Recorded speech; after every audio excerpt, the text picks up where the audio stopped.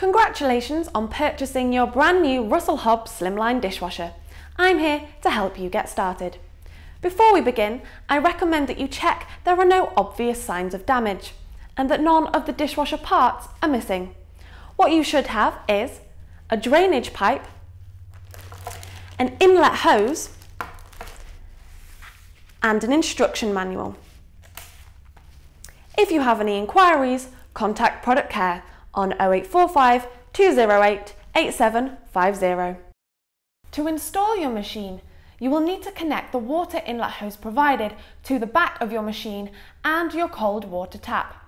It's really important that you use your cold water tap as the machine will heat the water when in use. Also ensure that you use the water inlet hose provided and not a previous one. Turn clockwise until it is attached tightly to each end. When it's connected to both machine and water tap, turn your tap valve to the open position.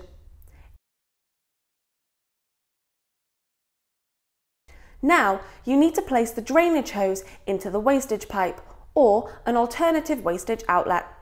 If you are struggling, consult your user guide. Before you use your dishwasher for the first time, you will need to run a full cycle with the machine empty. Once you have done this and you want to use your dishwasher, you will need to add softener salt, specifically for dishwashers. To do this, pull out the lower basket and remove the compartment cap located on the left-hand side at the bottom of the dishwasher by turning it anti-clockwise.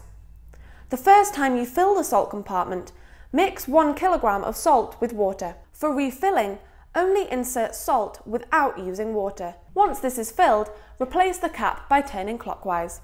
This dishwasher is suitable for 2-in-1 and 3-in-1 detergents only and must be used on a setting of 65 degrees or more in order for them to work effectively. When using such detergents, always place them inside the detergent compartment and not directly into the interior. To open the detergent compartment, simply pull back on the blue catch. To close the compartment, push down until you hear a click. You will also need to add rinse aid to prevent water drops forming on your dishes. To add rinse aid, remove the compartment lid by turning it anti-clockwise. Fill the rinse aid compartment until the rinse aid indicator light becomes dark. You can adjust the cutlery dish racks in the upper basket to allow more room for larger items.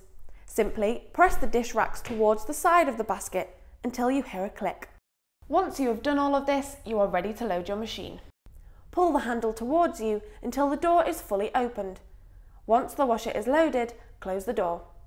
You then need to select your program by turning the dial. Once you're happy with the program you have selected, press the start button.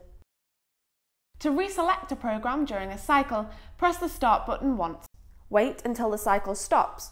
You can then select a different program by rotating the dial. Press Start to begin the new program.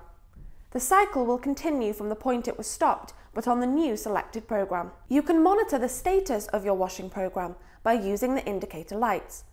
There are two stages to the process, wash dry and end. There are also lights to indicate if you need to replenish salt or rinse aid. We hope this video has been helpful.